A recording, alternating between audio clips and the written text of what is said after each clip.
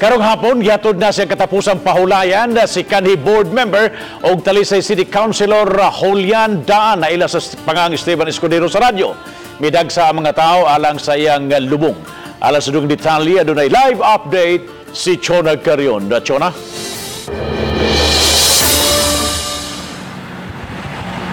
Yes, maporma lang nalubong si kanhi Provincial Board Member ug Talisay City Councilor Julian Tebandaan sa usa ka pribadong sementeryo sa Barangay Kansohong, Dakbayan sa Talisay.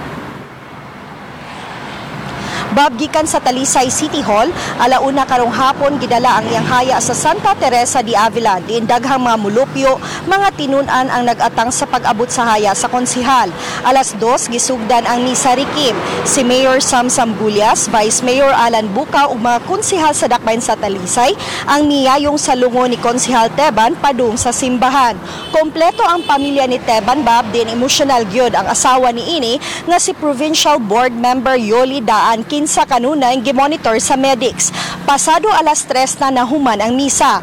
Gatusan ka mga talisaynon, mga kauban sa trabaho, mga opisyal o kawani sa City Hall ug iyang mga fans ang mihatod sa lubong ni Konsehal Teban diha sa sementeryo sa Barangay Kansohong. Lakip sa mihatod Bob mao ang iyang suod nga partner sa komedya nga si Alan Goliat na Korda. Samtang mabata o tiguang Bob nag-atang sa daan nga giagyanan padung sa sementeryo. Mga hapit na gyud alas 5 karong hapon nalubong si Konsehal Daan. Bob, Thank you so much, uh, Chona Carion, sa imong live report.